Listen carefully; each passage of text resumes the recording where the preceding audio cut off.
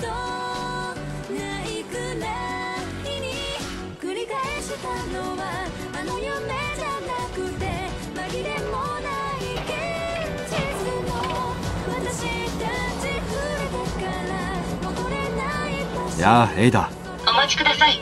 改良は成功しました。新しいハードウェアを検知。ソフトウェアをアップデート中。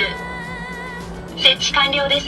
メカニストのハードウェアを分析中、うん。レーダービー号化された強力な信号を受信していますが発信源は確定できません。ビーコンをいじってることをメカニストは知っていると思うか？こちらの位置の安全を確保し信号が発する指令を遮断するようすでにフェイルセーフを追加してあります。残念ながらその一つが信号源を知るのに役立つはずです。それでもいいスタートだ。え助けが得られれば信号を解読してメカニストの居場所を突き止められます。幸運にも連邦で同じ信号を受信している別のロボブレインを検知しました。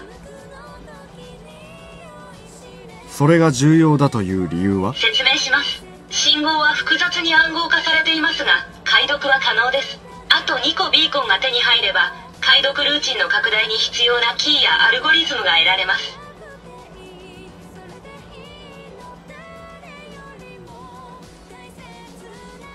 よしやろう。はい。始めましょう。ロボブレインの居場所をピップボーイにアップロードしています。気をつけてください。あのロボットは集団で移動するので激しい抵抗に遭う恐れがあります。